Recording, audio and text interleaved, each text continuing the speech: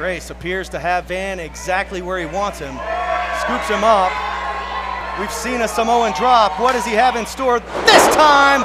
It's a Death Valley driver. Looks like Trace is headed to the top rope. He's hitting his head, calling for the finish, which would be a diving headbutt off the top rope. Wait just a second. Referee Ray Sanders says that's illegal.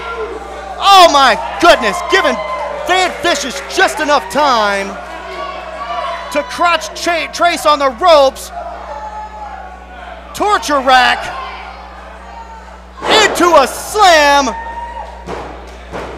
Fast count does it. Sick. Sick. Go ahead, Terrence. Go ahead, Terrence. Absolutely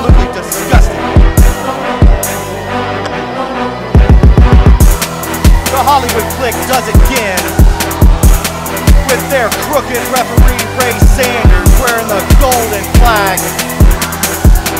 Tag team titles are up next. The Posse against